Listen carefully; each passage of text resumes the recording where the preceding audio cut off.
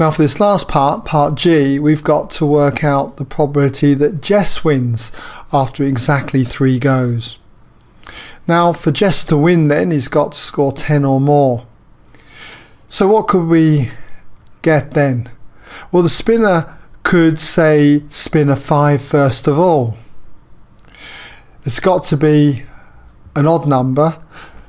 So if he spins a 5 first of all, we've got at least another 5 to get. Well, the most we can get is another 5 anyway. So he could we could get the spinner giving us another 5 straight away. But then if we had that situation, then we've got a win within two goes. So we mustn't get a 5 here. So we'll say not a 5. But that means that on the third go, Jess must get a 5 on the spinner.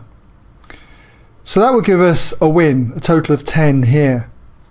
Is there any other thing that can happen? Yes, there is. You could find that the spinner gives us not a 5 first of all, but then two fives afterwards. So we've got a total of 10 and we've got a win exactly on that third go. So there are no other scenarios that can happen that get us that win. So all we need to do then is work out what this is going to be. They've both got exactly the same values in, only in different orders. But all we need to do then is to just double the result for one of them. So if we take this one, getting a 5 would be 0.20 and then not a 5 that's going to be 0.8 the remainder here.